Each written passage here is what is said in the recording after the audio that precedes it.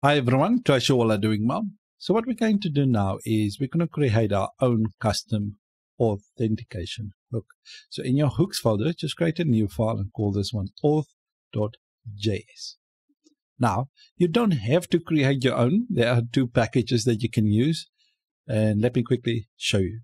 Now, the first one is nextauth.js. It's kind of extensive in dealing with authentication in Next.js. There's a documentation that you can follow. They're currently on version 4 and there are tutorials. So everything ready out of the box for you to deal with authentication. Now, the other one that I want to talk about is the Laravel Breeze Next. Now, this one, if you use Laravel to build the API, but you use the Laravel Breeze scaffolding, this is quite handy to do so that you can just use this authentication starter kit for Next.js. It will work very well with each other. Now, this is authentication starter kit. Now, as you can see, it includes all the things that we just created so far, the Axios right here. The other one is the one that we're just going to create right now, the auth.js. It's included. But just remember, the one that I'm going to create for myself, it's not going to be very different than this. It's just down to my personal preference. I like to understand what I do. So if something does go wrong, I can just go back to my code and fix it. All right, the other one is as well in this scaffolding, it actually creates components for you as well. So as you can go in here, like layouts, like you've got your app layout, you've got your guest layout. So app layout is if you're authenticated, guest layout is if you're not authenticated. And then you have all the other components in there as well. Totally, totally nice little GitHub package for you. So if, there's obviously a this installation guide as well. So I'll leave a link for you guys in the description. So just go there, go to the link and see what works well for you. All right, so let's build our own. All right, so let's create our component. So we're just going to say export a constant and we're just going to call it use auth. It's just a convention. Then we set it to an arrow function. Right, so in here, we're just going to return an object, and this is going to be the user. The next one is going to be CSRF token. And then we're going to have probably a loading state. I think that will work well. So loading state and log in and log out. All right. Now, you can obviously decide if you want to add like password reset, verify email, all that extra juicy stuff. I obviously left the link for you guys in the description for the Laravel package in GitHub. All right, so let's bring it in on top here right here. I just want to set all the things. I'm just going to say loading state. So let's just do that. So loading. Then I need the user. And then I need the CSRF, login, and then log out. Okay, so I know I need to create all of these for myself, just the memory. Right, so that I'm just going to bring in the router. So I'm going to equal that to use router. Now the router right here is if you, as you can see, if I type it in here, it will automatically bring it in for me. So just import use router from next router.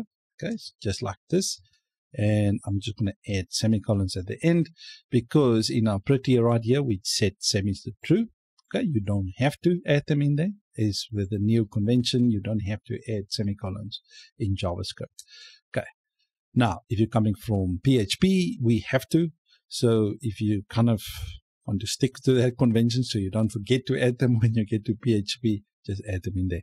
Anyways, let's quickly add our state snippet. So I'm just going to use use state snippet right? I'm just going to add it is loading.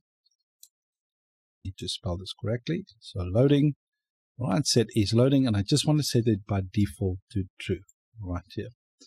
Okay, so the next thing is we need to bring in the user. So let's just do that. So constant, and I'm just going to set it to object. So data is going to be the user. Any errors that we might get, retrieving that user or mutate. And we're going to set that equal to use SWR. Now, this, as you can see, it brings it in automatically right there. So just like this, before we continue right there, I just wanted to show to anyone that's new to the channel. So we installed SWR right here. Now this is a React hook library created by Next.js. Now, what this does is basically allows us to fetch data, cache data, and refresh data in real time. Okay, so this is what this does. This user. Right, so now the next thing is we need to go to our API that we created. So API forward slash v1 forward slash user. Now, if the person logs in, we need to basically retrieve that user right there. Right, so let's quickly do that. So Axios, we're just going to need to bring in Axios, the one that we created, not, not that Axios, basically our library. So let me just do that. Just hopefully it works now. Right, so what I'm going to do, forward slash, and then we're just going to go to lib, and then inside lib forward slash Axios. Okay, so we're just going to go in there to basically get our Axios. The file that we just created, so in there, as you can see, axios.js. So that's the file that I want to access because inside this file right here, we're just going to go to that localhost 8000 extra base URL. So when we go to our auth right here, so localhost 8000 forward slash API for v1 user, we're going to get the right stuff. Right, so then we're just going to get, okay, so I'm just going to add this API v1 forward slash user. Okay, so that is that. I just need to, just going to space this out correct. Right, it's just easier to see. Then in there, what we're going to do is we're going to get the response. We're going to set that to the response dot data dot data Right, so what you can do, you can obviously, if you want to check if you get any error, so all you can do now is you can add a dot catch like this. Right, and you can just say the error. So if there is any error, okay, so we just write an if statement. So if there's any error in the response, okay, so response dot status. So if there's any error, but it's not equal to 409, and then we can just obviously just say throw the error. So throw.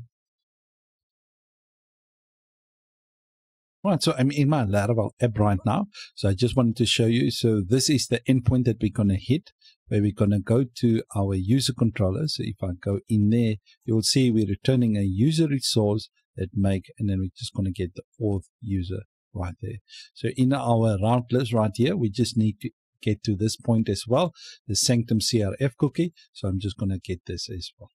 All right, so that's our user pound right done right there. So next thing is let's quickly create our CSRF cookie. So let's just going to create a constant called CSRF, and we're going to set that to an arrow function as well. And then we're just going to say Axios, all right, and we're just going to get, and then we're just going to go to forward slash sanctum forward slash CSRF and then just the cookie, just like that.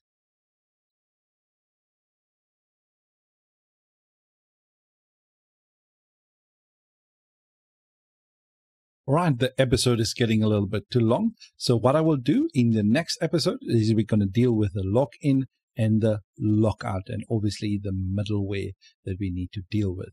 I'll see you guys there and do all the YouTube stuff and see you in the next one. Adios.